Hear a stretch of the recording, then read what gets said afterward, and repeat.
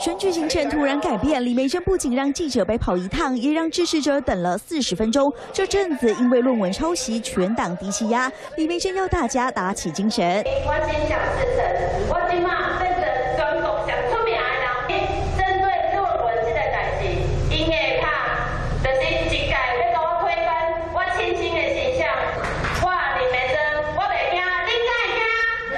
笑说自己现在不用花钱打广告，李梅珍超正面思考。可是蓝营队友逃走中，党内弥漫要注销他党籍的声音，把诚信问题限缩个人，别拖垮整个党。说选项里面有不要选下去，我认为当然都是要考量。我觉得这一定考量，这包括了中央跟他都要做考量了，所以进而不选。高雄的一些明代了，对啊，我有问他们了，嗯，大家都说。